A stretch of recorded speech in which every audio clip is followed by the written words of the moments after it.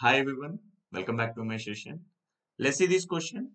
If you check with this figure, it represents Y shape.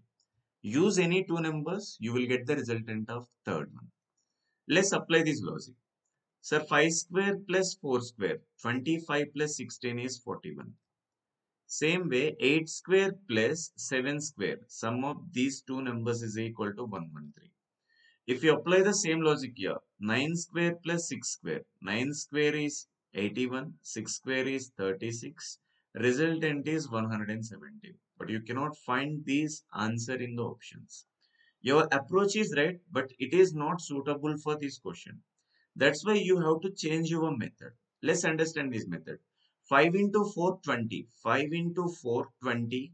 If you again double it. So 20 into 2, 40 plus 1 is 41. Same way, 18 into 7 is 56 multiplied by 2 plus 1. You will get the resultant is 130. Last one, 9 into 6. 9 into 6 is equal to 54. Double it, resultant is 108. According to the logic, you have to add 1 to that previous resultant. That's why the perfect logic and answer for this question is 109. Thank you guys.